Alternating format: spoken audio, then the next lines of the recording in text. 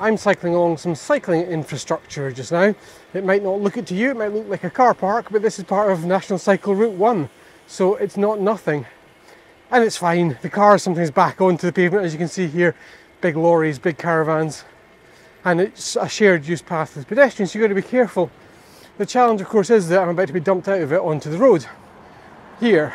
And by the way, please say hello to Electric Bike Scotland, who do phenomenal work. Really good people in there. Um, and so here I am among traffic. I'm admittedly still in a car park, but about to turn left and join a road for a short period. And so Simon asked the question how do you convince nervous cyclists to cycle with traffic? The first thing I will say is that that nervousness is well founded and you shouldn't be ashamed of it that's not because I think that cyclists are inherently at risk or that drivers are inherently dangerous, but your fear, if you have it, of cycling alongside traffic is what keeps you safe. Fear always keeps us safe. And so, I will say that find routes that are as quiet or car free as possible. I will say take your time, especially if you, if you haven't been on a bike for a long time.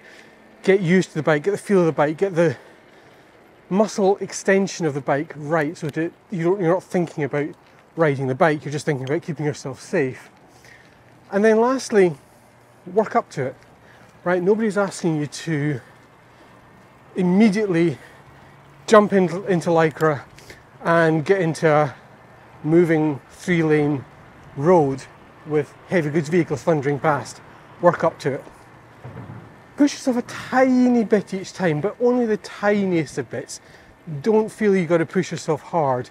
And you'll find that quicker than you think, I suspect, you'll get comfortable on the bike. And the fear you once had of cycling alongside traffic, where you can't avoid it, won't feel as bad as it did when you first contemplated it. Take your time, go easy on yourself.